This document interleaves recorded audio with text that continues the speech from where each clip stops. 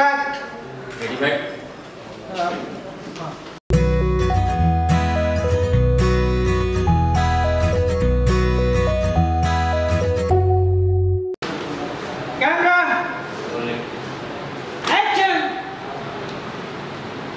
Hello परसों station पर आवे के बाद दोस्त से मिल के बाद जो हमारा जान जिगर सब कुछ है।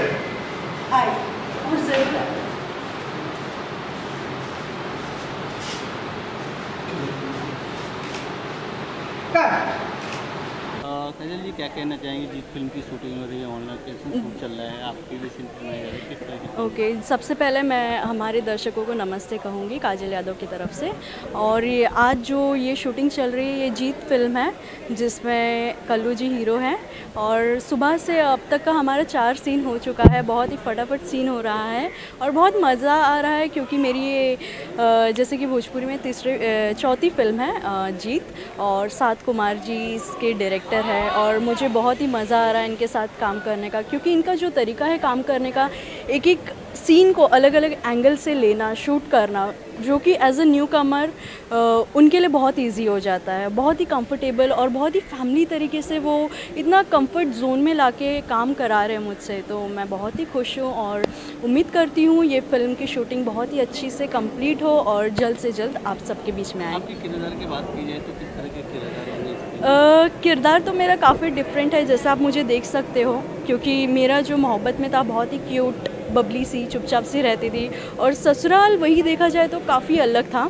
और इसमें मैं टोटली अलग फ्लेवर में दिखूँगी, जैसे नक्चड़ी, बड़े घर की लड़कियाँ होती है कॉलेज जाती है, और डैडी की अपनी बहुत ही लाडली है और बाप बेटी में बहुत प्यार है और बस ऐसा है और कुछ ऐसी चीज़ें हो जाती है कि अ, मैं बता नहीं सकती हूँ लेकिन बहुत ही क्यूट लव स्टोरी है आज जो फ़िल्म फिल्माया जा रहा है वो जी। क्या है है? संजय जी भी साथ में जी जी संजय पांडे जी मेरे डैडी के रोल में हैं और उनके साथ काफ़ी नोकझोंक ताना तानी वाला सुबह से सीन हुआ है और बस जैसे संजय जी है वो बेस्ट विलेन है जैसे हमारे इंडस्ट्री के और मेरे भी फेवरेट है वो। और उनके साथ मतलब तीन साल के बाद सबसे पहली फ़िल्म मेरी जो भोजपुरी में थी, वो सपूत थी और उसमें मैं उनकी बहन के रोल में थी।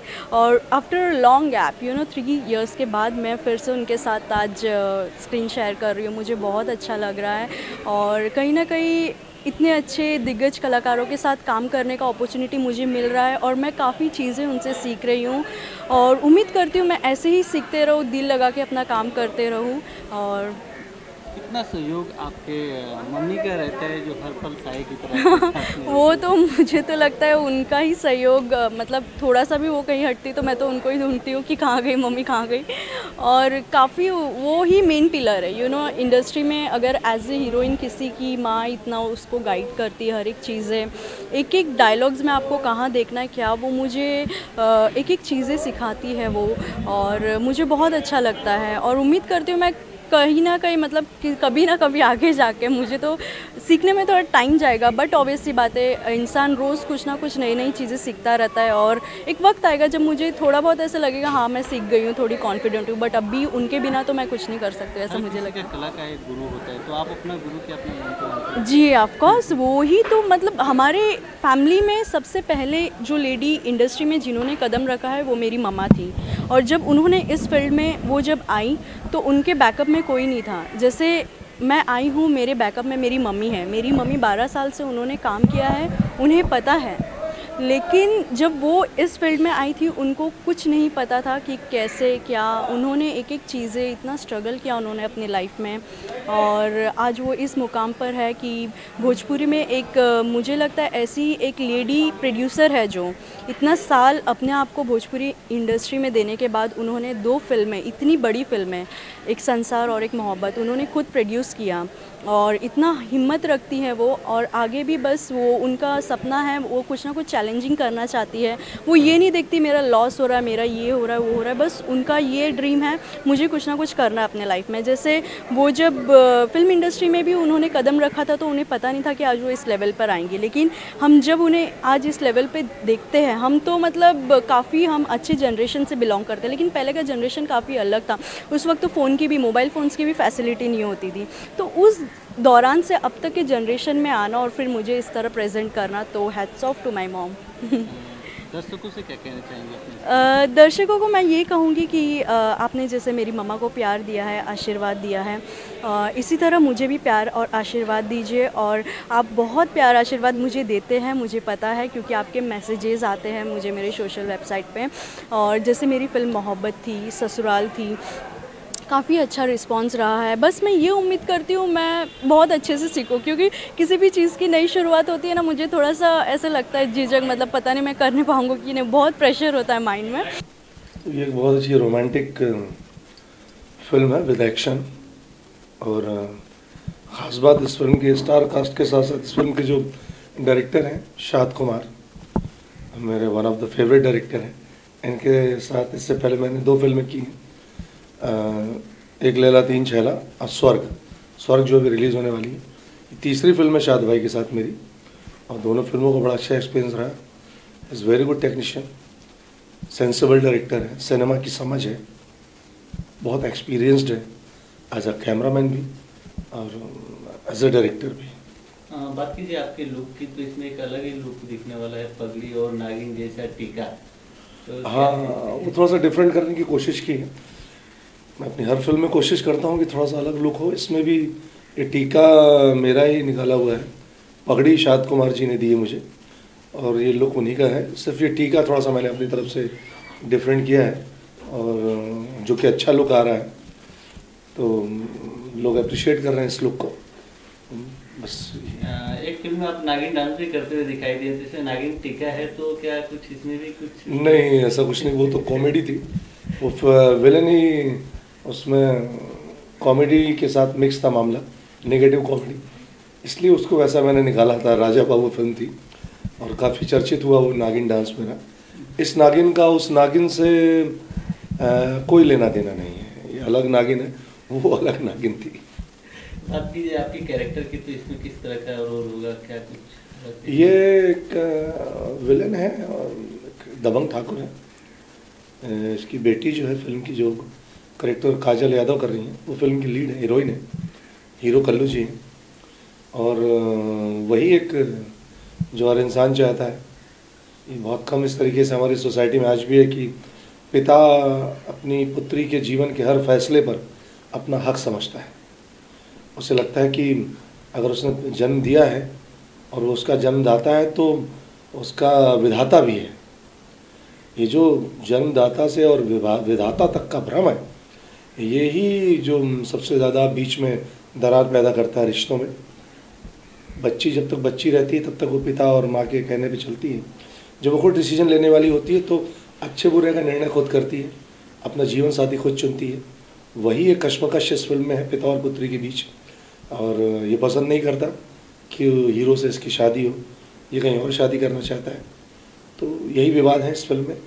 और चूँकि हीरो के अगेंस्ट है नायक के रास्ते में खल उत्पन्न कर रहा है।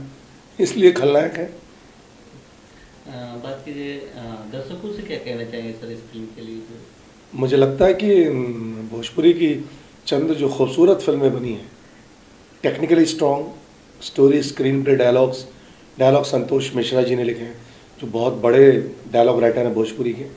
डायलॉग्स भी बहुत अच्छे हैं। सीन्स लेंदी नहीं हैं छोटे छोटे सीन्स हैं बट इम्पैक्ट वाले हैं। और शाद भाई बना रहे हैं तो एक कसी हुई फ़िल्म, जो कहीं से भी बोझिल नहीं करेगी, बोर नहीं करेगी आपको।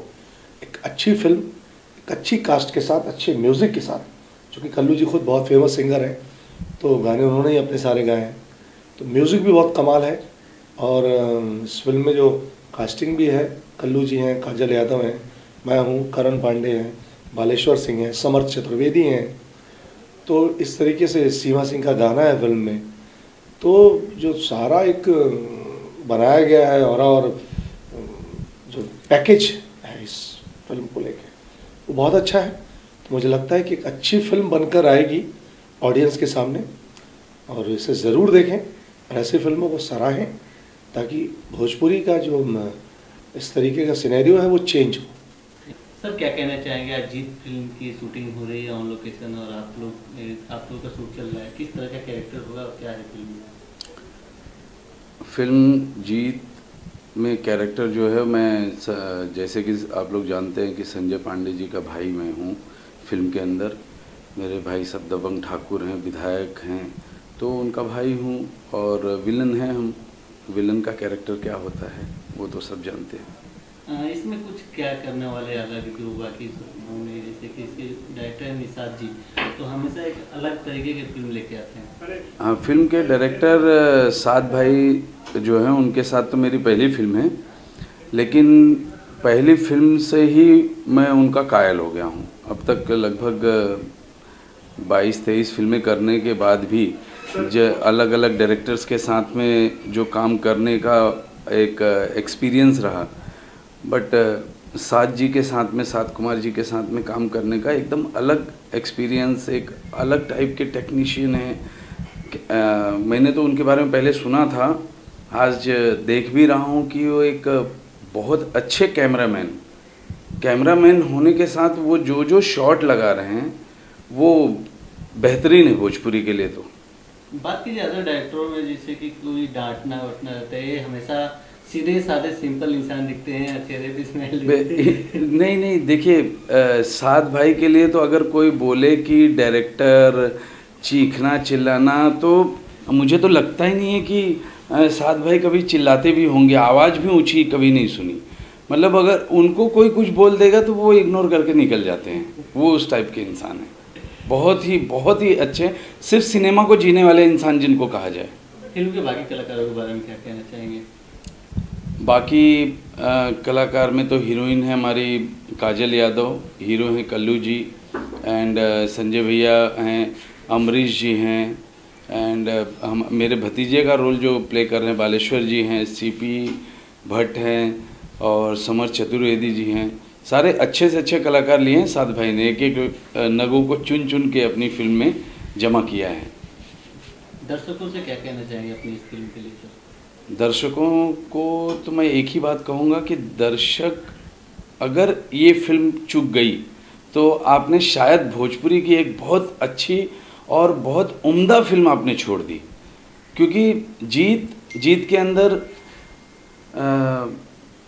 एक तो लव स्टोरी है, लव स्टोरी के साथ इमोशन है, बाप बेटी का, चाचा भतीजी का, भाई बहन का प्रेमी प्रेमिका का उसके साथ एक्शन जो विलन है तो एक्शन तो रहेगा ही ना। तो आप लोगों से एक ही है अनुरोध है कि ये फ़िल्म बहुत देखना इतना देखना कि देखते देखते लोग बोलने लगे कितना देख रहे हो?